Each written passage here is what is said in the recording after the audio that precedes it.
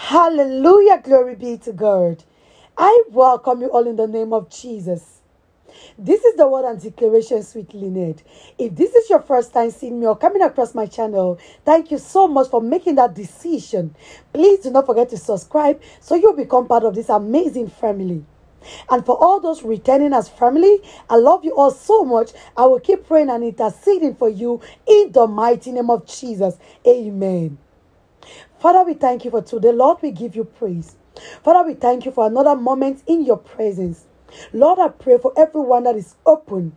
I pray for every heart that is ready to receive whatsoever their heart desires are. I pray, oh God, that may you meet them at the point of their needs in the mighty name of Jesus. Amen. Hallelujah. The Lord says, someone is in love with you, but they are scared to tell you.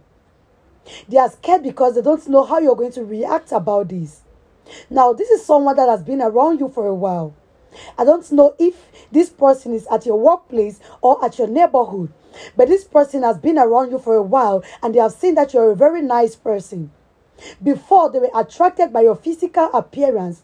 But getting close to you, they came to realize that you're so good. They came to realize that you have a good character. Right now, they are considering on asking you out. The Lord says, this person's intention is not out of evil. They are genuine towards you. The love they have for you is genuine. The Lord says, when this person talks with you, if you accept their proposal, that relationship is going to be taken to the next level.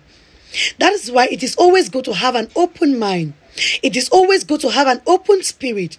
Learn to bring in new things into your life. Learn to bring new people into your life. For you might never know the person that God is sending your way. You might be looking at someone as a brother, as a sister, but that is a person that God has destined for you. The Lord says this relationship is His will. If you accept this person, you're going to be so happy in the mighty name of Jesus. Amen. I pray for you.